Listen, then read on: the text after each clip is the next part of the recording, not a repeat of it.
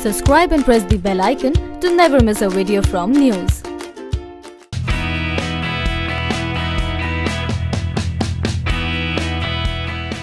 In an honest confession, Badshah of Bollywood Shah Rukh Khan revealed why he don't hear big screen with Akshay Kumar. Akshay Kumar and Shah Rukh Khan made their Bollywood debut in the early 90s, but never have the two been cast together in the last two decades. And when Shah Rukh Khan was asked about this in a recent interview, the actor had a practical as well as hilarious reply.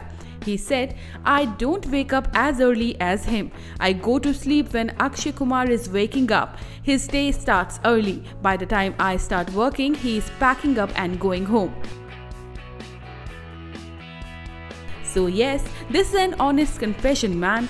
Who wakes up at 4 am and start their day? Well, it's Akshay. NYOOOZ Desk